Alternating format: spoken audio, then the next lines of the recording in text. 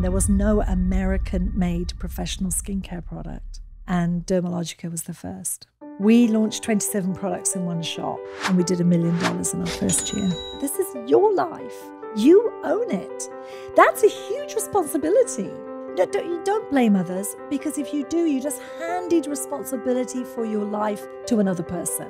Take the responsibility yourself. Jane Wurwand grew up in England on food stamps. Eager to change the course of her life, she started working on Saturdays at a salon at the age of 13. In the 80s, she moved to the US with a suitcase and a beauty school diploma with plans to change the skincare industry. A few years later, she founded what would become the number one brand in the professional skincare industry, Dermalogica. I'm so excited for you to hear today's episode. I know you'll walk away so inspired as you learn about Jane's journey and the keys to her success. I'm Erika Kullberg. This is Erika Taught Me, and today we're here with Jane Wurwand. One of the things I really admire about you, Jane, is that you were quite the underdog. You didn't go to college and you didn't really have all of these accolades that when you look at the people who are successful now, a lot of them have that. And so to me your story is just so inspirational because it makes it makes me feel like this is so possible to achieve. Yeah. You know, what is it about you that even though you didn't have the college degree, what made you successful? Mm, that's a really interesting question. Some some years ago, um, I was doing a, I was on a panel, and somebody said, "Well, you know, your story isn't relatable because you're obviously an exception." And my answer to them was, "Actually, I'm I'm not an exception. Um, and even though my story might feel exceptional, it was through a series of opportunities that I seized and jumped on that made it happen. But there is no reason, there's no magic formula to how to be successful that I know of, other than, and I know you know this, Erika, you you believe in yourself, however hard sometimes that is because we all have imposter syndrome. We all have that day where you're thinking, oh, I'm really not all that. We all have that day where you wish you hadn't put on the dress you put on, or whatever it is. And yet, the challenge is okay, knowing that, can you push through it and still do whatever it is you're meant to do? And, and I feel that if we can manage that, that becomes a way to push through it. So for me, um, my story began, I guess, really young when I was two years old, because that age was a pivotal year for me because my father died. And my mother was left with four children, four girls to raise. I'm the youngest of four um, at age 38.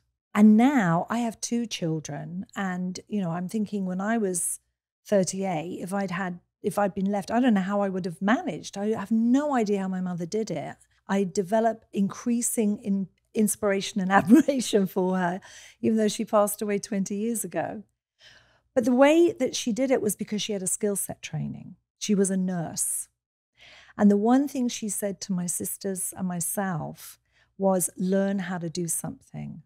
Five words that just resonated with us because if my mother had not had a training and been able to go back to work literally the week after my father passed away, and there was no plan B, she did not have a family support system. She did not have a trust fund. She did they didn't even have a mortgage insurance on the house that they had just moved into out of social housing 3 months before. She didn't have a choice. And I think that role modeling really impacted all of my sisters and myself. And so that led me to wanting a skill set that I could train and own. And my mum would say, don't just learn something, don't just do something, learn how to do something. And so I went to study skincare. I got my first job at age 13 in a salon, working on a Saturday. And then I left high school at 18 and went to study skincare, knowing that if I really became skilled at this, that would be my ticket out of you know the the lunch voucher program the free school uniforms the the the food stamps and credits that I'd grown up with, that would be my ticket to having a secure future. I would be able to support myself. So that was the start of the story. And now I'm I'm in my 60s, I'm 64. I can look back and see how all those dots, which seemed random at the time, actually all joined up like those puzzles where you connect the dots as a child and you suddenly realize oh my gosh you know it's an elephant or whatever the heck it is. And i realized oh my gosh that skill set training led me to building my confidence that i know how to do this. I can i can wax a bikini line in seven minutes you know which is crazy as that seems that is a very deeply assuring skill set. I still I travel to to places all over the world, which is so great. I love traveling, but it doesn't matter if I'm in a small village in Italy or a tiny little island off the coast of Scotland, both of which happened to me in the last six months. I always look for a salon because if I can find one salon, I think, oh, I could get a job here. I'll be all right. you know, which, you know, the skin thing doesn't work out, I'll be okay, which is a bit redundant now. However, I, I know that to be a truth. And, and that, that threaded through into creating Dermalogica, threaded through to me having the confidence to emigrate to another country. If they've got skin, I've got work. Um, it, it threaded through to me feeling even in the most intimidating crowds, uh, I've got this because they know a lot about what they know about, but I know about what I know about really, really well. So, you know, I don't know a billion things about a billion things, but I do know this. And so, crazy as that is, it gave me the confidence to to push through every adversity and always remember where I came from, always, because if you lose that, you've lost yourself. It's like a map. Two things you've got to know when you're making a journey. We just spoke about driving from Las Vegas to LA. You've got to know where you are now, so Las Vegas, and where do you want to get to, Los Angeles. Once you've got those two points, now you've got to figure out the way to get there. And there's lots of ways to get there on a train, on a plane, I guess you could ride a bike in a car. Maybe you could walk. It might take you three weeks, but there we are. As long as you've got your two fixed points, you can figure out the middle bit. As messy as it is, even if you get a flat tire, you take a wrong turn, you'll figure it out. There's a way to do it. And lo and behold, when we set ourselves those two things, you you left Las Vegas and here you are, you're in Los Angeles, you made it. So I know where I came from. I know my background. I feel confident with my skill set. It's like I've got my car, my vehicle. Yeah. And I strongly believe in visualization. I knew where I wanted to go. I wanted to be financially independent. I wanted to do that through my own skill set. And I wanted to be prepared to take a risk. At 18, going to the skincare school, did you have a vision that you wanted to create your own product line at that time or how did that come to be? No i did not. I i knew there's no plan b. I don't i you know i there's nothing else i really want to do. I love this work. I knew i loved it because i'd worked in a salon since i was 13 i know it's not just about the treatment. I feel strongly if i can become really really good at this this is going to be my ticket I can't say, well, I'm going to try this and see oh, if I don't, this doesn't work out, I'll fall back on my, you know, on something. I don't have another choice. I don't, I can't go to my mum and say, oh, you know, could you f- sub me for three months living expenses? What, I mean, what are you talking about? So, no. So I determined I was going to be the most skilled skin therapist I could be. And I was really fortunate because the class I went into, there were 12 of us and one of the students there, her name was, I mean, it's so funny that I remember this, Dewi, Dewi Sukarno. She was from Indonesia. She had no plan B either. She and I were absolutely determined that we had to learn everything, do everything. We brought our own lunch, and made our own sandwiches and brought our own lunch. Everyone else in that class was actually there to continue to renew their student visas in any oh. way, shape, or form. And all 10 of the other students were from the Middle East and they had come and were staying in the country on on student visas. So actually they were they were lovely, they were great fun, but they had no interest in really learning what it was all about. So Dewi and I said, "Oh my gosh, all of them will be our models, our clients." so there was Oh my gosh, it was fantastic. We both of us had five clients each that we'd rotate, which were class members. And our teacher, Rita Kelsey, she didn't mind a bit because she knew that we were going to go on and take this work. Oh, we waxed them. We give, gave them skincare treatments every single day. We were massaging. There was not one inch of any of those bodies that I did not know. and it was fantastic. And from that, we really honed our skill sets. And then I went to a salon and did an apprenticeship, which means you're learning and earning. And so I could then learn how the business worked and how how you booked your clients and and how it was possible that while a mask was on someone's face for 20 minutes, I had the speed to go and do a bikini wax in a second room and have an apprentice of my own so that we could, you know. And I learned that the person you take care of in a salon is the front desk because they're responsible for booking you. And if you're a client of any salon, uh, make sure you always take care of that front desk person because when you want that appointment on, I don't know, Thanksgiving Eve at five in the afternoon, that's who's going to get it for you. Yeah. So, yeah, all of that. I didn't know I was going to have a product line. I did know very strongly this industry was going to be my home. And then from there, I, I figured it out. My first job was working as a makeup artist for Mary Quant, who was a huge fashion designer in the 60s and 70s. And uh, it was 1976. And uh, yeah, that was that was my that was my first job, and I became a make- makeup artist for her, which taught me two things. First of all, I love to travel. Secondly, and I'm I'm pretty good at it. Secondly, um, I'm not the best makeup artist in the world. I'm good enough, but I don't love it, and therefore I realized that isn't that's not going to be my go-to. So, two years with Mary, and then I emigrated, and uh, I knew it was skincare. That was my love. What was the general knowledge around skincare at that time? Did people know that you have to put on sunscreen? What what was that like? No, and in fact, the sunblocks at that stage were um, zinc oxide and maybe titanium dioxide. We it was the opposite. We didn't even call them sunblocks. It was sun tanning lotion. So everyone wanted a tan. There were two, the two top selling products at that time in that category were sun tanning lotions, sun tanning products, and skin lightening lotions. That shows you how crazy opposite you know culture was influencing things that they has no business influencing mm-hmm. that's all changed the skincare knowledge in the UK and in Europe was pretty strong we had a very well established industry but when I came to the states I should have done my homework assuming the industry would be just as well established here. And I came to Los Angeles. I thought everyone was getting a skincare treatment every, you know, sort of three days. Or it seemed like that on the television and in the movies. Wrong.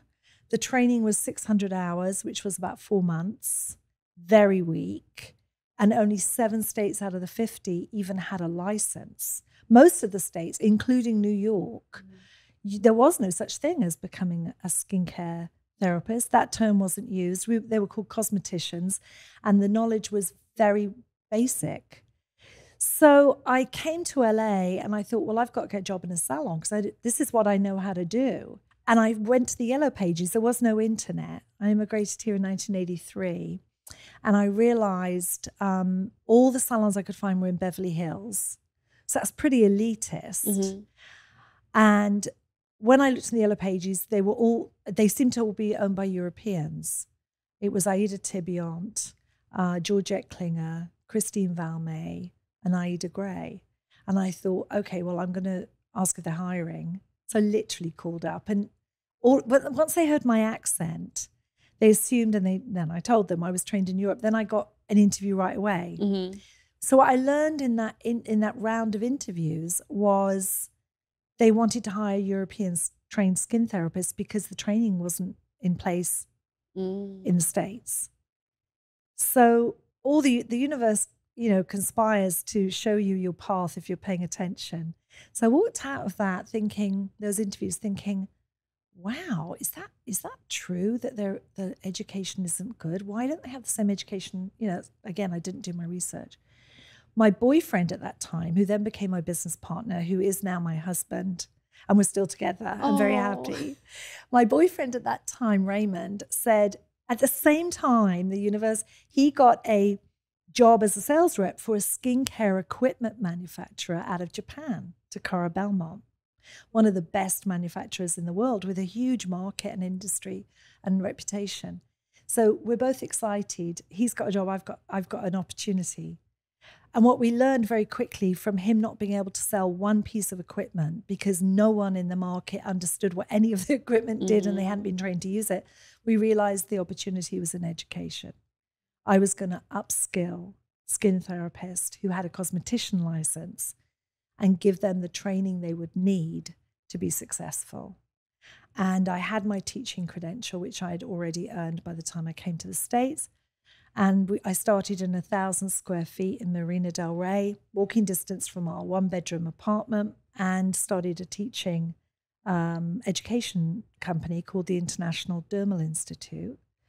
And I had a, a through line of students because one thing I quickly realized is, especially in California, we want to we want to improve. We want to learn. We want to go for it. We want to be entrepreneurs. And so i had the most incredible students and i have to say most of them stayed with me all the way through to their own retirements which was such a joy to actually have a core of several hundred students that i watched their careers.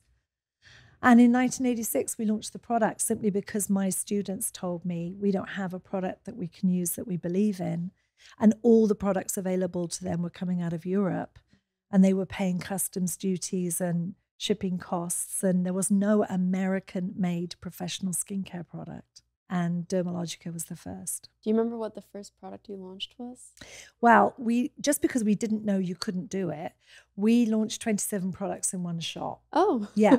So it took us 9 months from beginning to end to formulate with a chemist working 16, 18 hour days.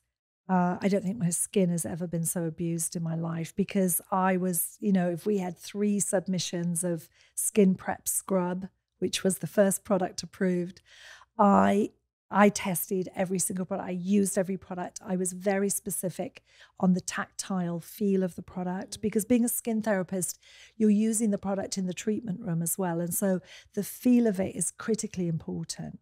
Not how well does it rinse off only when you're leaning over your basin at home, splashing your face, but how easily does it remove when I'm removing it from a client's skin with sponges and warm water? That's a whole different experience when you're trying to remove a cleanser from a client's skin than when they're doing it themselves at home. So the unique thing about Dermalogica was we were road testing from a skin therapist point of view mm-hmm. and as a consumer point of view. Skin Prep Scrub was the first product approved. How did you fund all of the testing and everything at that time? With no money. We managed to cobble together through both of Raymond had emigrated from South Africa. I'd emigrated from the UK via South Africa, and we em- we emigrated, uh, taking every bit of savings that we had, each of us, and also, you know, any anything we could sell. We came with one suitcase each. We sold whatever we could. We raised um, $14,000. And that was our stake. And by that time of, um, of Dermalogica, we'd been training people for three years. So we'd been, you know, we did not buy a thing. We had a moratorium on any clothing other than those days pantyhose and underwear. That was it. You couldn't buy anything else. We and we didn't. We were very very frugal. We lived in a one bedroom apartment. We um, we ate at the local diner. A big night out was, you know, a burger at Tiny Naylor's and uh, box wine from Sav-On Drugs. That was a huge treat. I mean, that was how we did it. Yeah. And we just saved. So $14,000 we self funded. And what that $14,000 did was it allowed us to produce the packaging, get the packaging bought, get the cartons bought, and we did a deal with a cosmetic chemist. And one of the very few who even agreed to meet with us. and also make a product which at the time was unheard of no mineral oil, no lanolin, no formaldehyde, no color, no fragrance, um, no SD alcohol, um, and also acidic balanced for the skin. It, it was unheard of. We talk about clean beauty now. You know, I wish it was clean skincare because I, it isn't about beauty. It's about health and and um, and really thinking about how do I how do I drill this down to the most perform performance based product that I can with nothing you don't need. The product doesn't have to be pink. You know, your toothpaste doesn't have to be blue. Mm-hmm. It's ridiculous that we worry of our snacks. You know, it's artificial color when you could be using turmeric instead of that orange thing on, you know, whatever it is. So all of that was very, very important to us. And coming from my background and also my my mum and my sisters who were all nurses, um, there was a no nonsense family, you know. So all of that fed into, you know, informing what I liked and didn't like. So this fourteen thousand dollars, we cut a deal with a chemist, and we we basically managed to cut a deal with him that allowed us to pay him a percentage of the ingredients we used to manufacture the product. And I, I, I wrote a book uh, in 19, sorry, 19, we're in the two, 2000s, Jane, in 2020, which got published in 2021, where I explain this in a little bit more detail. But basically, if we didn't get to production and we didn't make product, he wasn't going to be paid. So his payment was over two years and based on the fact that we actually made products. So if we weren't successful, he wouldn't make money. And that's how we we did it on fourteen thousand dollars. Wow. And was it an instant success? Well, we had a hiccup, as you know. So you're on a road trip, you get a flat tire or you run out of petrol. So yeah, of course that's going to happen on any journey, and this was no different. So um, we had booked trade show booth at uh, at a trade show here in Southern California to showcase the product for the very first time in January, uh, Super Bowl weekend of January 1986, and in um, November our chemist came to us and said, and he was holding all the formulas because we hadn't paid him for any of them at that stage, but we had already turned them over to the manufacturer to make. These were custom formulas. No one had these formulas, mm-hmm. and still don't. All our formulas are our own. So he sat us down and said that he um, didn't believe we could be successful. He didn't believe we knew enough about the American market. He thought the product had a weird name, Dermalogica. No one can pronounce it. And he wanted to be paid out immediately. And in our, in our, in Raymond's brilliance in, in business, um, he had pre written the formula that we would pay him out for formulas. Mm. And it was much more than we could afford. It was two, it was like $2,000 a formula and uh, we had 27 formulas. We had no money, no spare cash, because we'd put everything into the marketing materials, the promotion materials, paying for the trade show booth, all the rest of it. And um, we, we, there's no way we could pay him. So we had to figure out a negotiation, which we did. And we, we got the negotiation down uh, to uh, $20,000 and for everything. We still didn't have the $20,000. So we spoke to a friend who was uh, doing pretty well in finance, and we we didn't even have credit cards ourselves then, and we persuaded him to lend us the twenty thousand dollars until after Super Bowl weekend. Wow! And we were going to take, we were going to sell opening orders of the product at the trade show, and with those checks, we were going to pay him back the twenty thousand and fund the production of the first run. So, the end of January 1986, we go to the trade show, three days trade show. We know we have to raise enough to cover this debt. So, we had a $1,500 opening order, which is really cheeky because we didn't have any product. Um, we had testers, what we call bench samples, in packaging because we already had the packaging. And we persuaded the contract manufacturer to hand fill some testers for us because we couldn't afford to do a run. And we went to the trade show and we just, I, I wrote little post it notes on the back of the counter, the booth, saying that we have to open 15 accounts in three days. We have to open 15 accounts in three days because it was a $1,500 opening order and we needed to pay back the 20,000. So 15 in three days, 15 in three days. So I told everybody, so I believe in manifestation, 15 in three days. Everyone got that? 15 in three days, 15 in three, 15 in three, 15 in three. Kept post it notes. We didn't, I wrote it as 15 in three so that if anyone saw them, they wouldn't have a clue what that Yeah. meant. And of course, I'd been teaching for three years by then, and my students wanted to support me. They were my community, they were my posse. They named themselves my tribe. And they said, Jane, and the very first account we ever opened in the world with Dermalogica was Becky Sinclair. And she worked for Pizzazz in Bakersfield, California. And I said to Becky, when she handed me her check for $1,500, I said, Becky, I haven't even shown you the product yet. And she said, Jane, I want you to know that if you and Raymond are in, I'm in. And I said, Be- I held the check and I said, Becky, I will never forget this. I will thank you forever every time I get an opportunity. So, Becky, I know you've retired now, but here's a shout out. We opened 15 accounts in three hours, Wow. 15 in three, but it was three hours, not three days. And we did a million dollars in our first year. Oh my gosh. That made me very emotional because we were talking earlier before we started recording about the value of community and how mm-hmm. the cornerstone of Dermalogica is building this community.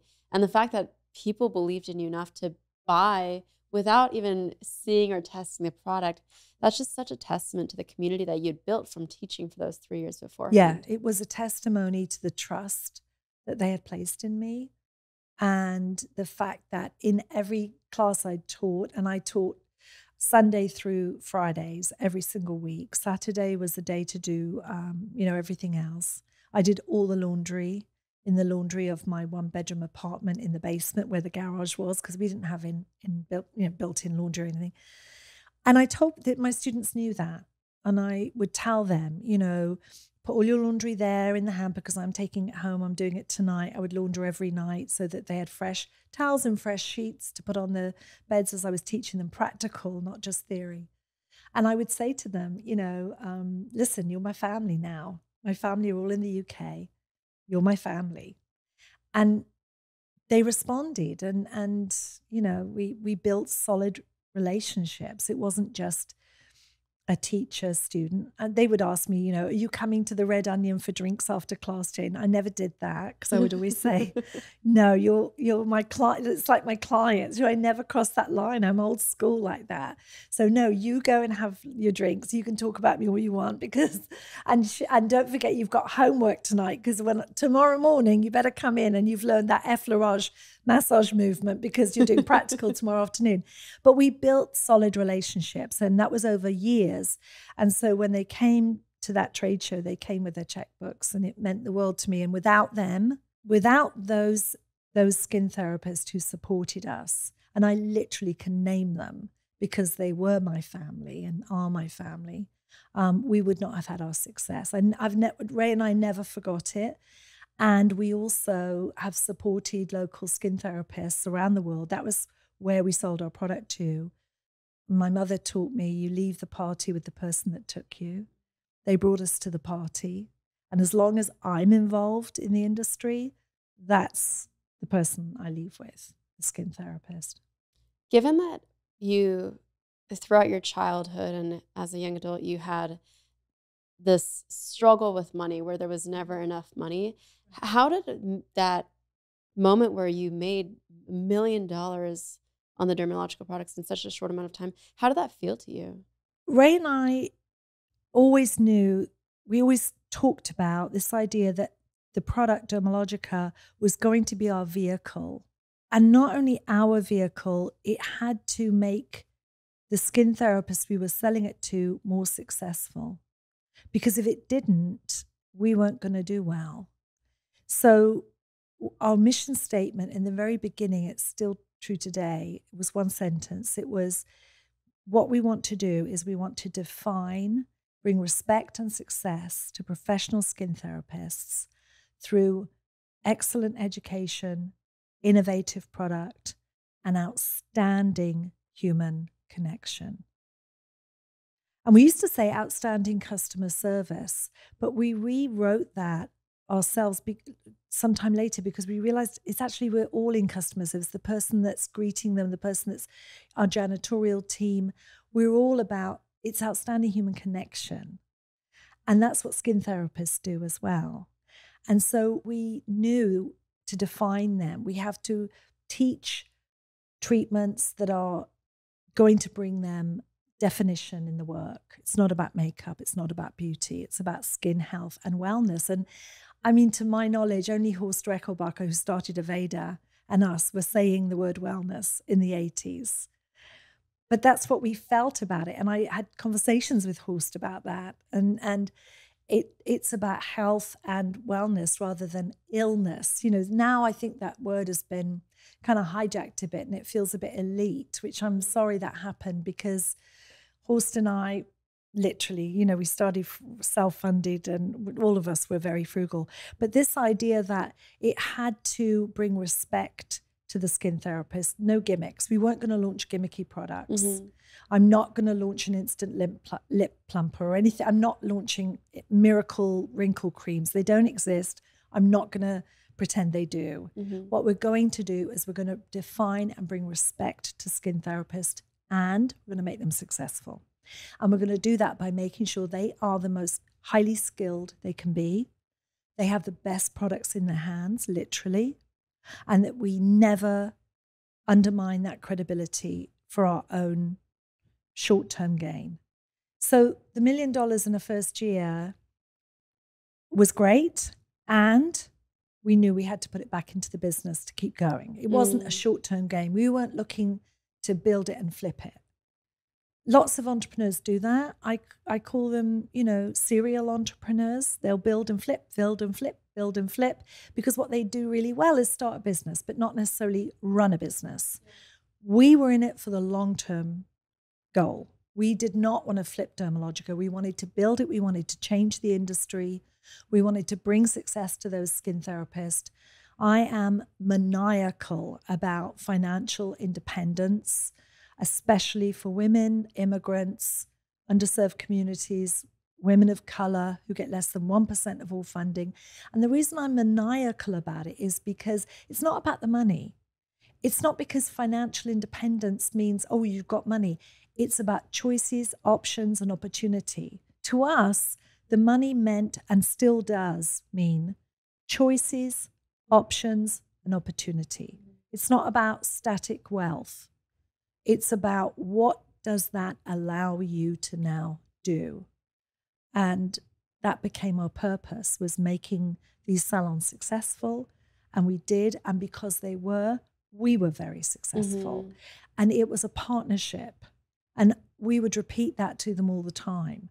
And I would say, they would laugh at me, and I'd say, listen, I'm going to drag you kicking, screaming, and biting if necessary to your optimum level of success. Because trust me, if you are not outrageously successful in your business, we're not successful in our business. And trust me, we have no plan B. We have to be successful. And that resonated. And we were in it together. We were going over the hill together. If we fell on our face, they were going to fall on their face. If they didn't do well, we weren't going to do well. Mm-hmm. And that became the thread that built the whole brand. It's do I think it's because our cleansers are better than anybody else's? Yeah, you'll expect me to say that. I'm the founder. But it's not just about that. There are lots of good cleansers out there.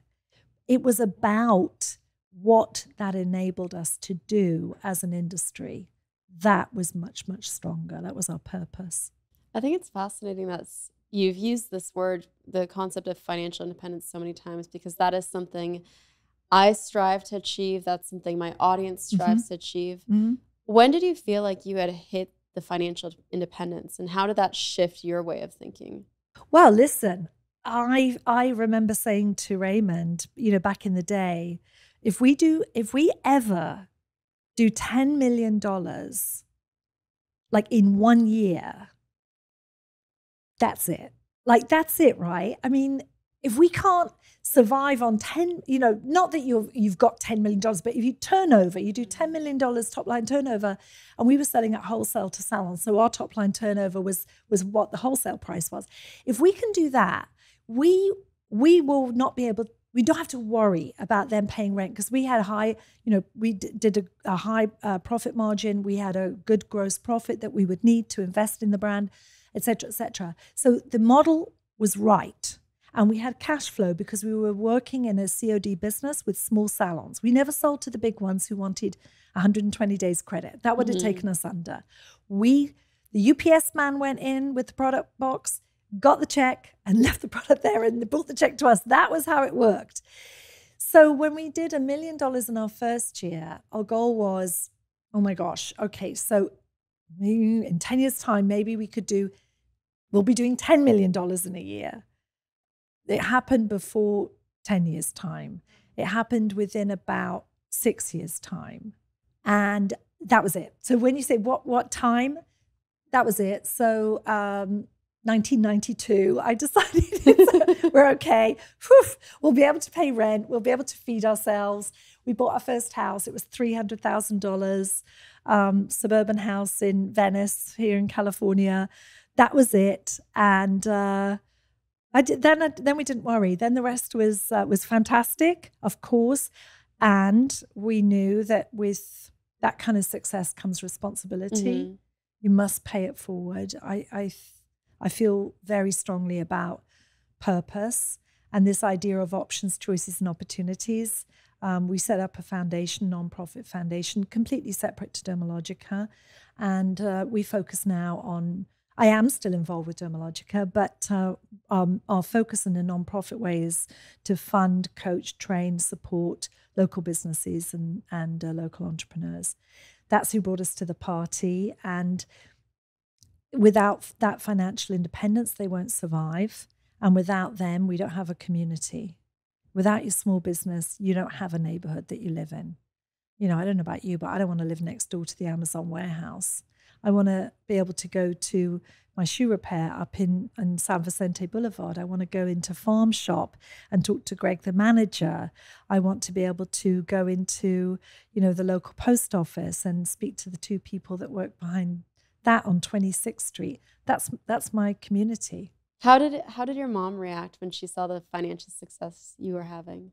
Oh, my mom, I miss her every day. My mom said to me, "Now, I'm very proud of you and never forget who you are." This is her words exactly. You have a very lovely nature and don't let this spoil you. And I said, I'm going to try really hard for it not to, mum. I know I am. I'm I'm your daughter, and uh, that you never get you never get ahead of your skates. You never you know get too big for your boots. The minute it happens and your ego starts to to rule, I think it's the kiss of death, quite honestly, to your success because. I mean, I guess you can go on and be successful, but it's not going to have the same resonance, and mm. it's not going to give you that high. In my in my in my belief, that high of feeling I'm living my purpose. And I think if you're not experiencing that high organically yourself within your soul and your spirit, you start to seek the high somewhere else. You know, and and whether it's, you know, you you need that dopamine rush. So whether, you know, it's buying, I don't know what you would buy, but, uh, you know, a, Maserati or a you know Rolls Royce or a plane or something, you know, or whether you think I've got you know I've got to you know get the very very latest of everything, or whether you think I'm going to gamble, or whether you turn to you know to drink, drugs, whatever you know I don't know what it could be. Fill in the blank um, of whatever it might be um, to give you a rush. That is now going to take you down a path that isn't going to be the one you probably originally intended.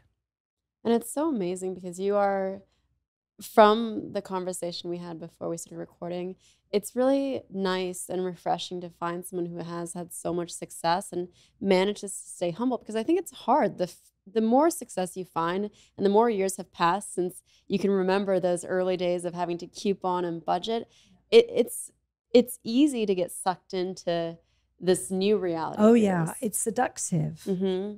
It's very seductive, and and if we think oh our worth, our relevance is to do with those external things, it's not only seductive. It's um it kidnaps you in a, in a way. I've seen it happen. I'm sure you have too. You've you've had a background in in you know the very high powered legal background that you chose to you chose an alternate route. I've seen it with people that I've admired and, and I know have uh, really good hearts and the right background, but they lost their way somewhere, and uh, and it never changed them, but they were changed by by it. And I know that Mhm. sounds contradictory, but there is something about really digging into your own personal bigger why. Why am I here? Why am I doing this? What is the bigger reason? When I say the why, and I write about this in my book, Skin in the Game, for me, your why is what is it you are doing every day that doesn't just benefit you, but benefits at least one other person? And there's lots of things that could be doing. You could be parenting and and you're benefiting your family, which is an amazing thing. We need we need all of this. We need all of the above. There isn't anything that's that should be seen as bigger than the rest or more important than the rest. We're all here just trying to do our thing, trying to make a difference. And I believe that every one of us has every single thing we need to do that already inside us. And you just have to be vulnerable enough, open enough, honest enough with yourself to say, well, what is it that I can do? And never, ever trivialize that. Never say, well, just because I can wax a bikini line in seven minutes, that's not nearly as important as this person who's, you know, trying to develop the, the next, you know, vaccine for a pandemic. It's different. And I know that by touching someone in a kind and nurturing way in a professional salon environment, it changes the way they feel about themselves. And that may seem very, very tiny, but it is equally as important to that one person. And I just use that dramatic illustration to say when you dig in and you're very honest with why you're doing what you're doing and why you do it, for me, it's never been about beauty, it's always been about human connection. And once you internalize that and that becomes your you, really your value system, it's very hard to shake a person from it. But if we're not digging in deep to find our why and we're really concentrating on our what I do and how I do it and who I do it with rather than why, you just get lost in the people, places, and things the how, the what, the who, the Mhm. where. You get all seduced by where I'm doing it, who I know, how I do it, much bigger than why do I do it? Yeah. For me, it's taken me a long time to figure this out. Trust me, it's not like I was saying any of this when I was in my teens. Uh, I, uh, but the one true north for me that has sustained me is just always remembering the fixed points of where did I come from? That could not have been an accident. I was meant to have that upbringing. And some of us had horrific upbringings, but I, I can't explain the why of that other than to say that must inform us of why we're here and where we're going. You know, there's there's a the security expert Gavin De Becker. He's extremely successful in providing security for people. And he wrote a book many years ago called, and I believe it's, I've got it right, but it could be something, but The Gift of Fear. And Gavin De Becker grew up in a brutally violent home, had a brutally abusive, violent childhood. To the degree that he explains, he became almost feral in how he could read the room. He knew when someone was threat was about to threaten him or hurt him or harm him or that person over there. He could read the room and the mood and the energy, and he could feel it shift even subtly because, quite literally, his life depended on him being able to navigate Mm. through this toxic childhood. And that became his strength in understanding he knows how to develop security because for others because he can spot where the insecurity is, where the weakness is, where the vulnerability is, where the gap in the security system is. And he is arguably one of the most famous security experts in the world and has trained teams around the world, whether they are securing celebrities or securing royalty or securing Olympic events. He says it all came from learning that feral ability to understand what danger really looked like. And it doesn't always look like you expect it to. And I think that's really true. So if we believe where we've come from is purpose built for where we're meant to be going, that's already going to give us our first point and maybe help us navigate how we could get to that goal. In building Dermalogica, what were the some of the hardest points you went through, some of the lows, and how did where you came from help you to get through those? Well, as crazy as it does sound, probably, I always knew I could work. So the worst thing happened, okay, Ray and I would say, what's the worst thing that could happen? Well, the worst thing is, you know, the business is not successful. People suddenly decide, I don't like this product, I don't like you, and I want you to go home. So I'd, I'd fabricate these crazy kind of ideas. It was the same thing that I used to think about as in my first days as a skin therapist. I was so nervous to go up to a new client who I hadn't worked on before. And I would say to myself, as I literally hid in the in the staff room of the salon and peeked out to see who was in the reception area, was this my client? My client? I would say, okay, Jane, listen, you're going to go out there, you're going to step forward, extend your hand, and you're going to say, Good morning, Mrs. Who, whoever it was, their name, because we never call clients by their first name. My name is Jane, and I'm really looking forward to taking care of your skin today. And I'd say, No, no, no, I can't do it. I can't do it. This is me, my inner voice. And then I'd say, Jane, what is the worst thing that's going to happen? You're going to go out there, you're going to extend your hand. They're not going to shake your hand. They're going to look at you up and down and they're going to say, I'm sorry, I don't know who you think you're talking to, but I've no interest in anything you're saying. Go away. That's like the worst thing. they're not going to assault you because they'll be arrested. So they, but they could say something really incredibly mean.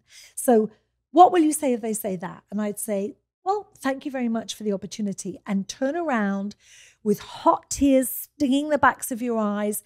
Just walk very, very slowly and carefully back to the staff room where you can collapse in tears.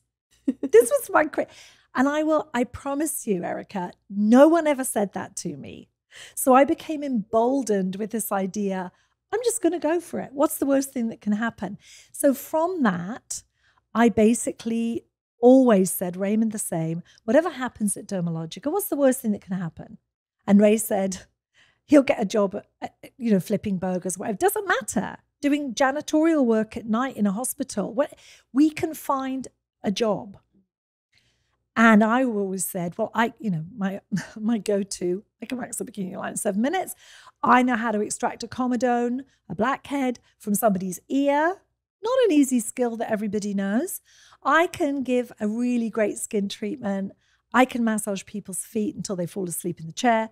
I can earn money from that. If I have to do seated massage on Venice Beach on a Sunday, I figure I could make enough to eat. So this was it. So that got us through SARS epidemic, where our Asian business closed down, and our biggest market then was Malaysia, Singapore, Taiwan, Thailand. Uh, that all shut down during SARS. So that was, but however, we were strong in the US and we knew that could support our business. It got us through the recession of 2008, where we lost 1,500 out of 6,000 salons that we had. because they just couldn't weather. You know, it wasn't that retail slowed down in October of 2008, it literally fell off the cliff. And by January, we had salons that were in dire straits. And we knew that they would be back when they recovered. So we tried really hard to place them in salons that were still working. We took back product that they couldn't sell that they still had on their shelves. We promised them we would be there for them. We gave consignment product. We extended credit terms, which we'd never done before. We didn't lay off one person at Dermalogica. Ray and I stood up in front of our team and we said, We will stop taking salary ourselves before we cut your salary. We will cut programs before we cut people. That was our mantra. And we made it through because we didn't lose staff. And they, it cemented our, our loyalty to them and them to us.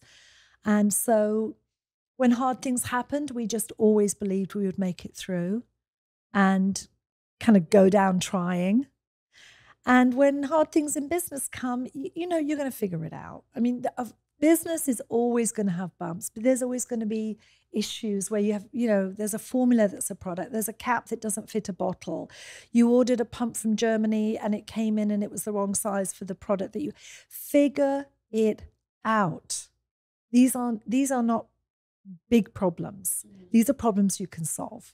Big problems look completely different. Those are life-changing illnesses, your family, you know, something in your family. These, those are the huge problems.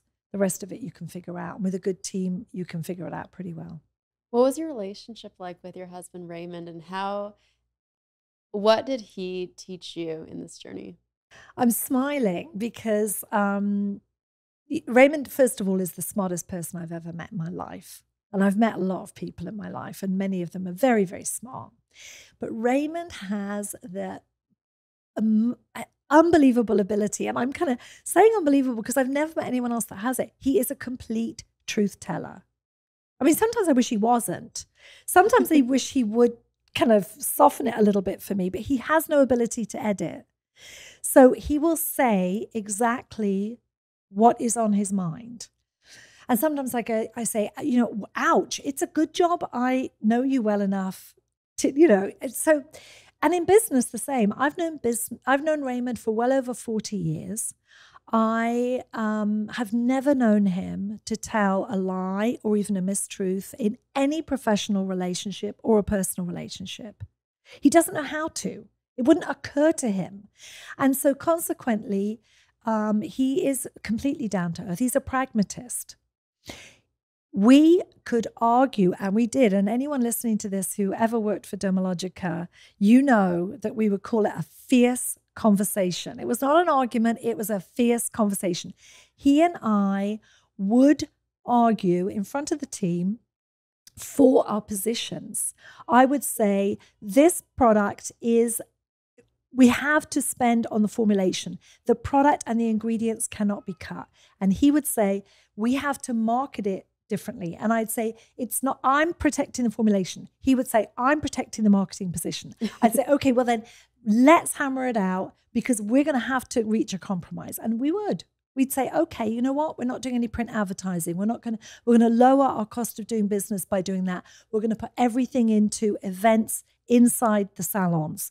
We're going to talk to the 600 clients that salon has rather than the 60,000 people that read one page of Vogue and it cost us 95,000 to actually do that ad. So, you know, we, we would fight it out, hammer it out, no matter how small or big. And it was pretty ferocious and fierce. But we knew at the end of the day, we wanted the same thing.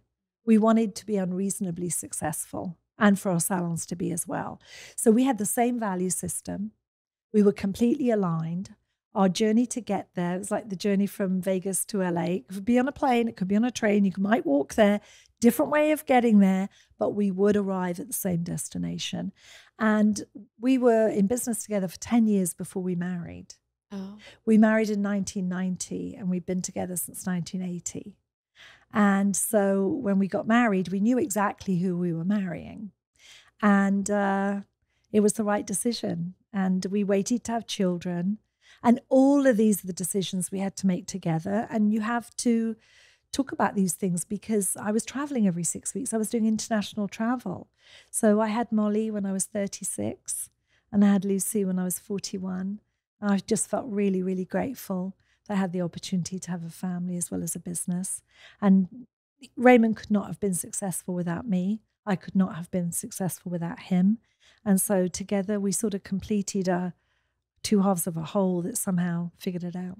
One of the my husband and I we we had a little argument in the car yesterday, and a little argument, a little a huge one, a little argument, maybe a huge one, and it's tough because we've gone from having completely separate jobs. He worked in finance, I worked in law, and we'd see each other maybe at seven or eight after work to now having a company together. Yeah. And especially in this first year of figuring out his work style within the company, my work style, Yeah. it's quite difficult. There is some clashing. Yes. And one of my things is I also am a truth teller. I don't know how to sugarcoat things. Yep. And even if I knew how to sugarcoat things, I don't think I would because it takes extra words to do that. That's right. And so that's one of his big complaints about me is like, I wish you could just sugarcoat it a little. But how, and one of the things we're going to try to improve now is separating marriage time and the quality or the time we spend to build our relationship and go on dates to business and work time. Did you feel like you had that kind of separation? Did you have a certain hour at which you would say, no more talking about work? No, absolutely not. I no. We loved what we did. We loved our work. We were passionate about it. I, I you know, I, I we never figured out. Maybe it's different if you work for someone else. You know, maybe actually I think it is because I'm just thinking back when when I worked in a salon. I- I didn't necessarily, you know, I never discussed my clients with anyone else, but I didn't discuss. I didn't necessarily take that those problems back home with me. I probably could have done it then. However, when it's your business, it's like saying we're never going to discuss the kids when we're on when we're out to dinner together. I mean, forget it. You're going to of course you're going to if there's a problem. How are you not going to do that? So Ray and I never even attempted to separate business from work because we loved each other, we loved our relationship, and we loved the business. So we would drive home together. You know, we we didn't always like carpool, but occasionally we would. Um, because I started later than him. He wanted to get into the office first thing. He got in at seven, seven fifteen. It infuriated him that I would come in at 8.30, 9 o'clock. My classes used to start at 10. I didn't care that it infuriated me. He'd say, Jane, I can't believe you could rock up this time. You know, this time. There are people that have been in here since 8.30. I said, yes, and those people will leave at 5.30 and I'm happy for them. I'll be here at 8.30. So it's okay. We do it differently. So we just ultimately wore each other out with saying, that was it. Now, if it was a trade show, you bet I was going to be there at the same time as him. We walked in together. But, you know, we just had to figure that that out. What were the big problems? What were the little problems? Tons of stuff irritated us about each other and still does. But we realized it's not enough to be a deal breaker. Mm. It's just not enough to be a deal breaker. So we um, we would talk about the caps not fitting the bottles when we got home. We would sit at home and discuss the P and L. We would sit at home and discuss whether that air freight order to Australia because they hadn't received their ship freight, you know, their ship freight, which took six weeks and that was stuck in a docks in in Sydney. Uh, could we afford to air freight? If we could, how could we know? Would it be cheaper to air freight from the warehouse that our distributor had in Malaysia? That we couldn't just say, "Oh, sorry, it's six thirty. No more talking about that. Now let's, you know, what should we talk about? Like, the air freight from Malaysia is that cheaper? Uh, We never managed to do it. So, we, and we made it through. And I is there a is there a secret to that? I don't know. Just um, well, actually, maybe there is. We we agreed, no matter what, we we were going to figure it out no matter what. It, literally, um, we were not going to give up uh, on each other, and we were. It was going to be easier to give up, easier to bail, easier to walk. That first year, you talk about the first year. Yeah, definitely. There were there was I I'm thinking of one Ray will kill me if he hears this, but there was one thing where we had an enormous argument and it was in December. And I, I said, I'm going, I'm leaving, I'm out, I'm out. I'm gonna find my own apartment. I can do this, I can work in a salon, I'm gone. Do you realize that I can do yeah. Anyway, and I, I he said, Where are you going? And I said, I'm I'm going shopping. I'm going to Macy's. And I literally drove to the Macy's in Santa Monica. And I was li- I was in the cosmetic department because I love to just look at what the competition's doing. And Ray walked in to, to Macy's. And I said, What are you doing here? And he said, and he knew where I would be. And he said, You're coming home, we're gonna sort we're gonna figure this out. And I wanted to. So I did. And we made an agreement there in our one bedroom apartment that we didn't just quit and walk out. Barring, of course, there being a problem that was insurmountable because of, you know, violence or, or mistrust or, or whatever that might be. But we were not going to walk out because we didn't agree with who should be folding the laundry. That was, if that was big enough to break us, then we really didn't have a rela- relationship. And I don't know, listen, it worked for us. It doesn't mean it's a, a solution for everyone. But once we had agreed that, weirdly, we kind of held each other to it. And and we still do. Wow. We need to take that advice. and you know, listen, you figure it's figuring out the journey. You're still figuring it out. First year, you know, whatever. It's we we took 10 years until we were pretty sure we could make it in a personal relationship as well as a professional relationship. Mm, was not easy by any means. However, I now look back and I can say those all were growth moments and, and I feel really fortunate and grateful that we were able to push through it. So once you made that decision that you were going to be aligned together no matter what, how did you go about figuring out what your end goal was, what you two wanted to build together and how you were going to get there? Okay, so uh, when we started the company, I was it was so 1983 was the International Dermal Institute. So I was 26. Ray was 35. He's nine years older than me. So starting from from there, let's see from there, we didn't know what the end goal was going to be. We knew that what we were loving what we were doing. We were having fun with what we were doing. We were working bloody hard, but we were loving it. And it felt like we were getting traction. We could feel it. You know, we could just feel it was happening. So we didn't quite know where it was going, but we knew we were on the right train. So we used to say, we're on the right train, heading in the right direction, no idea where we're getting off or where this train journey ends. However, it's going great. We're having fun. We're loving it. Keep doing it. So our goal was quite simply keep the wheels on the vehicle, keep keep building a really strong team, build a team with value systems, different skills than us, but value systems that matched. And that was really important. When we would interview people from other companies, you know, as we were growing, we would say things to them that really illustrated you're not going to have a those days secretary you're going to be expected to do your own business. You, you are going mm-hmm. to be expected to clean up. We all clean the restrooms. We all make the tea, whatever it is. So don't, it's all very well to say, oh, I love joining a startup because we were a startup then, but be very careful what you wish for because there is no hierarchy here. We don't have a parking space. We don't have an executive bathroom. We will, Raymond will be the first in. I will be the last out. Between us, it will be seven in the morning till 8.30 at night and we expect the team to to pull their weight not to all do the same but mm-hmm. to do the best you can so in in defining that we were going to just keep doing it as long as it was fun we we continued we had no exit plan and this is a kind of a funny story people who were used to a corporate world in america would say to us what is your exit strategy and i'm not joking when i say neither raymond nor i knew what that phrase meant so one time in the elevator in Century City, coming down from one of those, you know, legal offices, Ray said to me, What do they mean when they say exit strategy? And I said, I don't know. I guess it's like when you die. So Ray said, Oh, yeah, yeah, that makes sense. I said, Well, I want to be cremated. and Ray said, Well, I want to be buried. I said, okay, well, as long as we know that, I guess that's important. And I'm not kidding. When people would say for a little while after that, exit strategy, I'd say, well, I know I want to be cremated and Ray wants to be buried. And they laugh. And I didn't think that was particularly funny. But anyway, and then of course we learned what it meant. It means how are you going to end your business? How are you going to exit the business?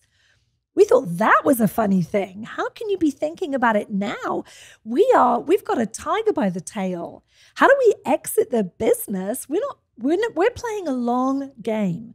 So it's kind of back to are you playing a short game? In which case, you're going to flip it in two years. You're going to say, well, the minute it slows down in this area, that's the red flag. We're bailing. And we'll start another one. I guess that's the way to do it. That wasn't us. Our value system who was always playing a long game in the relationship, in the business. Our why was to change the industry, to professionalize it, to bring respect and success to professional skin therapists. I couldn't bail on that. What was I going to do? I I was always going to do that. And I didn't want to do it for someone else. I'd rather do it for myself. And our business was successful. I was living my why. And Raymond, if Raymond had said to me, look, listen, my my goal is to make a bunch of money and get out. And I'd said, well, I'm in it for the long haul. We would have had opposing value systems, and that would have definitely fractured the business because he would have wanted money and get out, or I would have wanted money and get out, and he would have wanted in. That's like someone wanting to stay in the marriage and someone wanting out. One way or the other, someone's not happy, and that is going to fracture the marriage. So we wanted we didn't know where we were going, but we were having fun doing what we loved. We felt it was purpose driven. We were we felt highly gratified by what we were doing. We weren't embarrassed about what we were doing. We weren't doing anything illegal. We were paying all our taxes.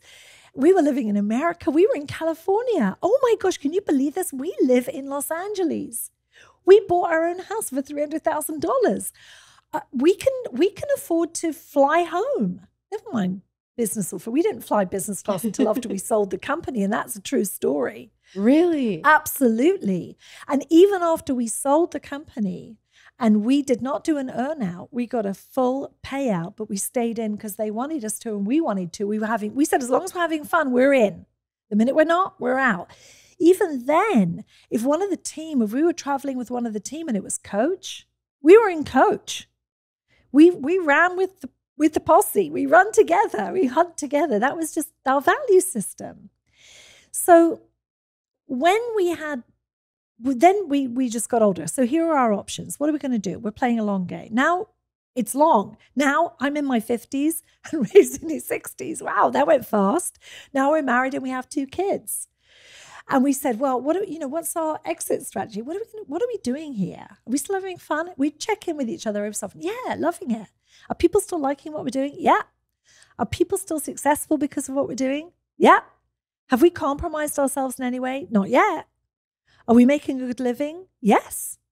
We still we live in the same house right now. I live in the same house we bought before our second child was born. When when Molly was 2 years old, we bought this house. We it, it, we've never that's that's us. That's who we are. Now, so th- there we go forward. So then we get to the stage where Ray said to me, and he was in his 60s, he said to me, You know what? I think I'm I'm getting ready. I said, Okay, I'm not ready yet. Give me a couple of years. And sure enough, we knew. And we said, when we know, we're going to know. Now, what made us know? We weren't having as much fun. We, ha- we had a big company. We had 1,500 people that work for us. We were in 106 countries. And Steve Kurland, who was kind of like our, our number two to both of us, he ran international and all our big markets. And we've been friends for years, godfather to both our kids. He said to us, You know what, guys? We can keep doing it, but at this stage, we're literally going to keep doing what we've already done. We're going to have fantastic trips. We're going to go to amazing countries with people that we know. And yet, digital's coming up. The world is changing. The business is changing as it should. We have to know when you're running a relay race, you're the first runner. When is it time to pass the baton? We didn't need investment. We never took outside investment ever. We never gave equity. When we sold, we owned it 100% debt free. Never had any debt. Wow. Right. So we didn't need a partner. We don't play well in the sandbox. So we didn't, people said, go to an IPO. We could have done it. We were certainly profitable enough. We didn't want to because if I don't want to report to one person, I don't want to report to shareholders. That was not who Raymond and I were. No, that's not it. So then we thought, would it be a legacy business? We've got two children. Would Molly and Lucy run the business? We decided when they were very small, before they were born, if we ever have kids, unless they are just gung ho, I want to work and run a skincare business, we're not going to make them come into the business. And if they do want to come into Dermalogica, they're going to start from the bottom up. They can't walk into the C suite. That that is setting them up for failure. I wouldn't have respected anybody that got their job that way. And even if they're brilliant, they've got the same last name as us. Everyone's going to say, well, yeah, you know how they got that job. I don't want that for our kids. Mm. So when we were raising our children, we told them, you've got to find your own purpose. And they have.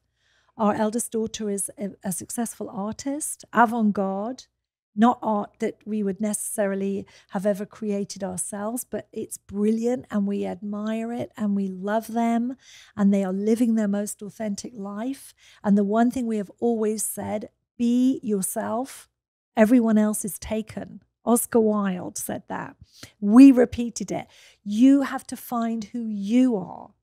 You are here for a reason and and Molly is an incredible person and uh, is fully authentic. And only when you're fully authentic will you find your true purpose. It's the caveat. You have to take the big leap and say, "This is who I am. I'm owning it." And until you and when you do that, I don't know that you will ever find your authentic self. And if you don't find your authentic self, you'll never find why you were here. And I don't know. I think this is the only life we're going to get, or it's the only one we remember, right?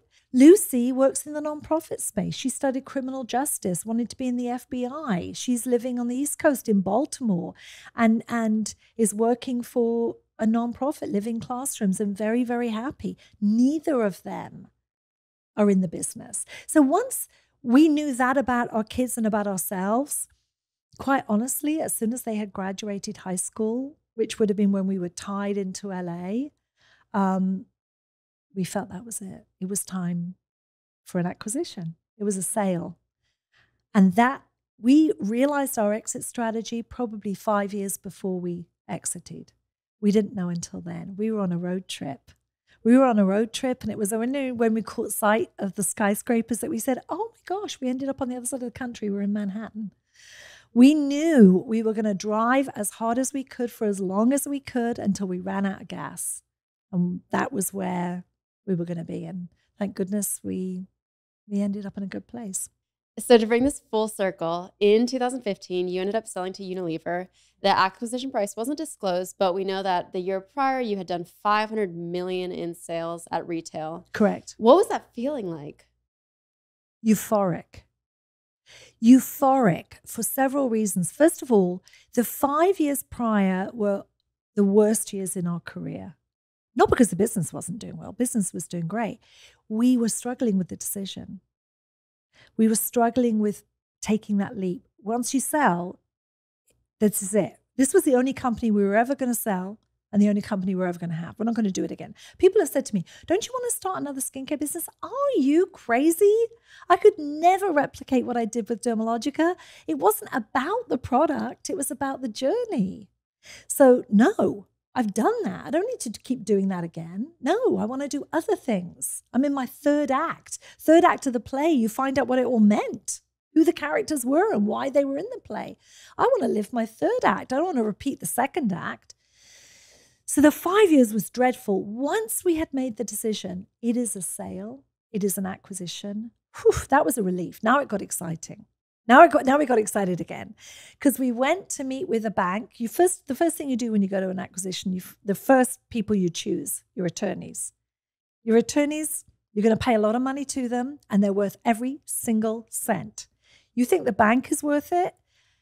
They're important, but the attorneys are the ones that are going to make sure you get through unscathed. We use Skadden Arps.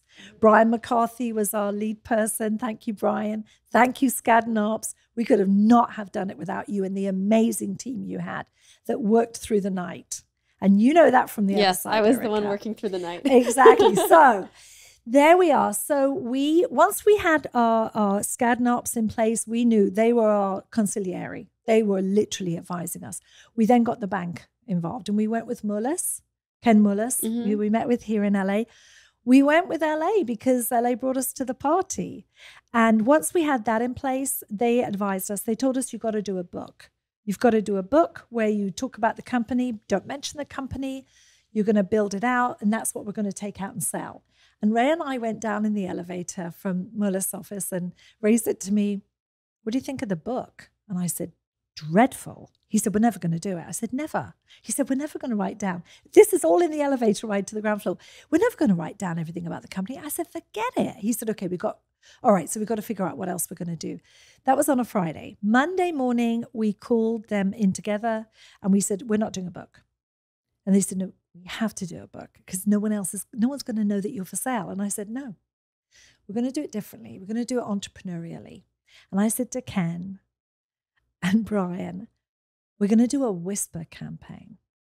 And they said, What's that? What? No, no, no, no, no. And I said, No, we're going to. Here's what's going to happen. We don't need to go out and look for people. We know who the people are going to want to buy us because the size we are, we know they've all tried to approach us in the past. Here are the eight suspects. Each of these eight, we don't know enough about any of them to say which is the one we want, but these are the eight that could feasibly be it. So we gave them the names and they said, okay, all right. What about this one? And it was someone else. We go, no, no, no, they can't do it. They're, they're, they're in problems. They're not going to be big enough or whatever it would. We knew the market. So we, we lived our lives in it.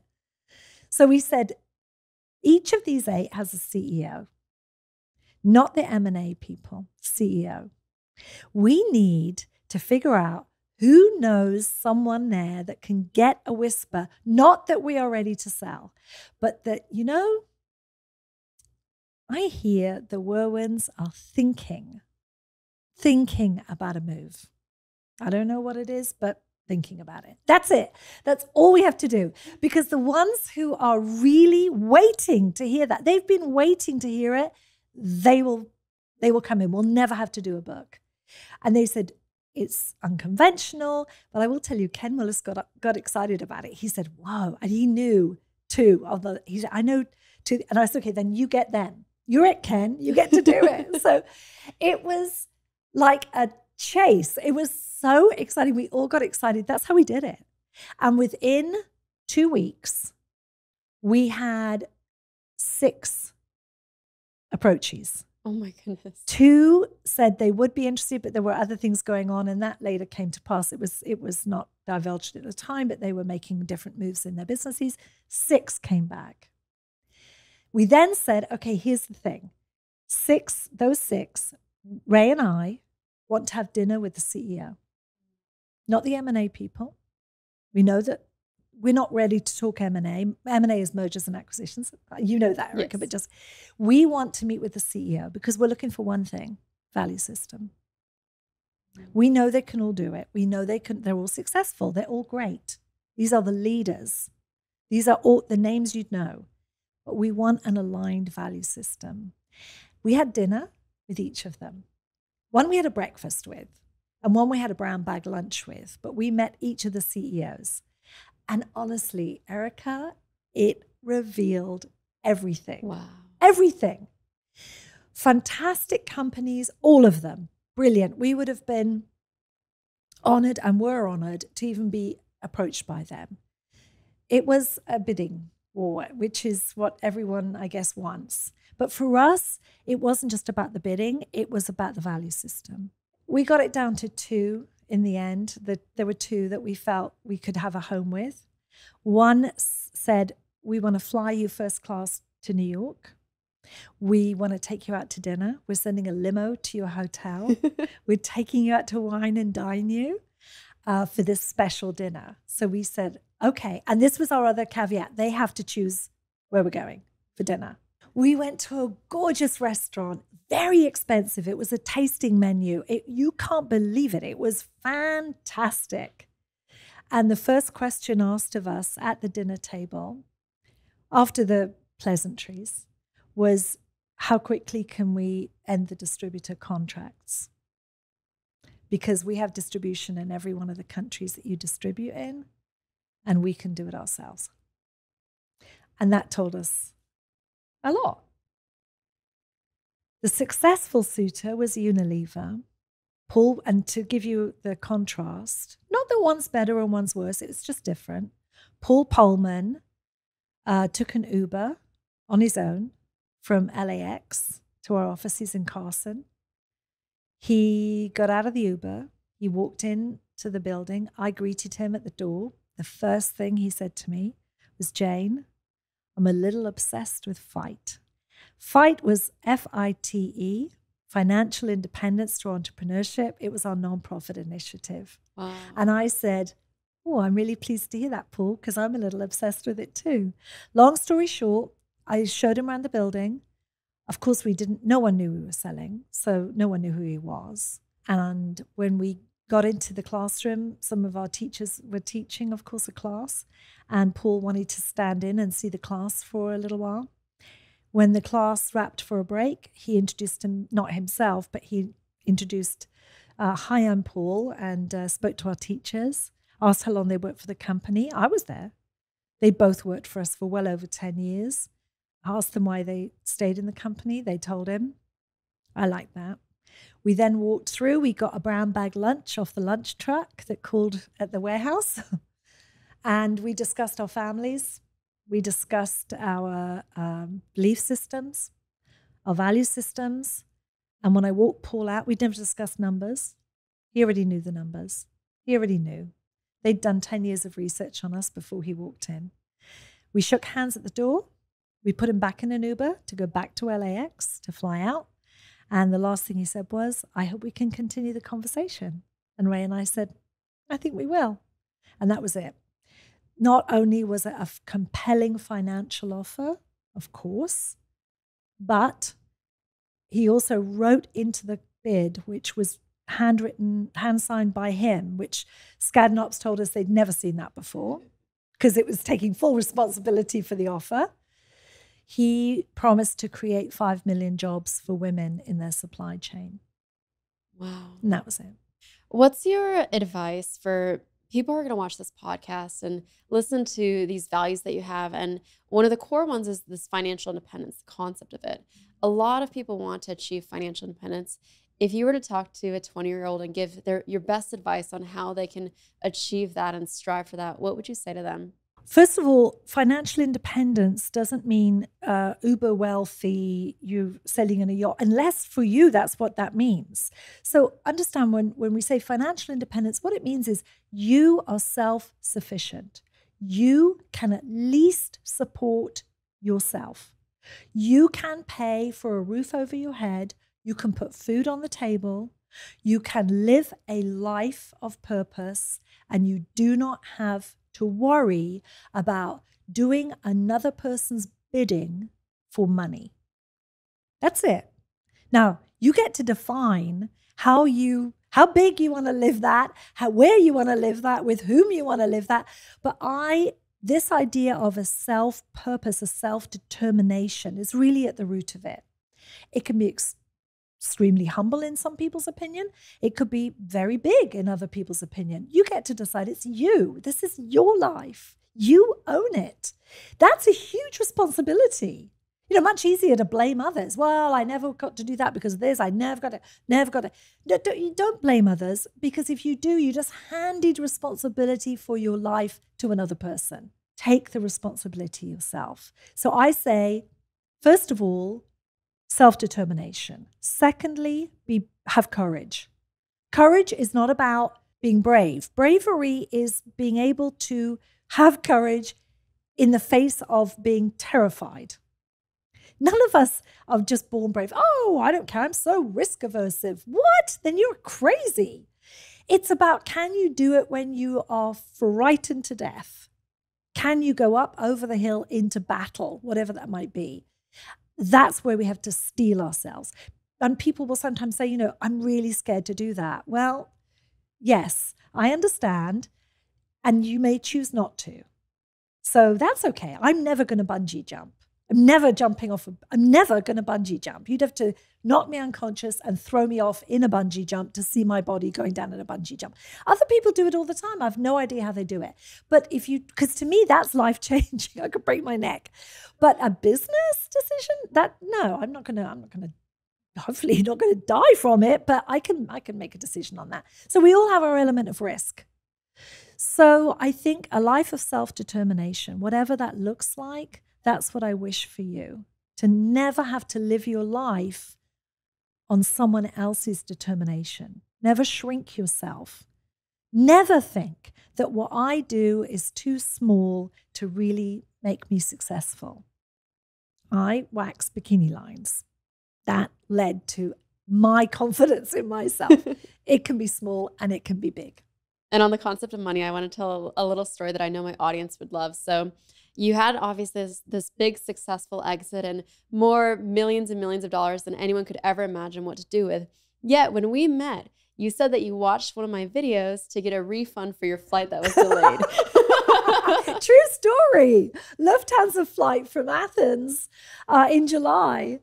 And Lufthansa called a strike. It was a, a strike. They shut, not a strike. I think it was just that they were shutting down a lot of flights through Germany, through Milan, uh, through um, Munich and Frankfurt. And we were routing through Frankfurt. And I had watched your video and you read the small print. I hadn't.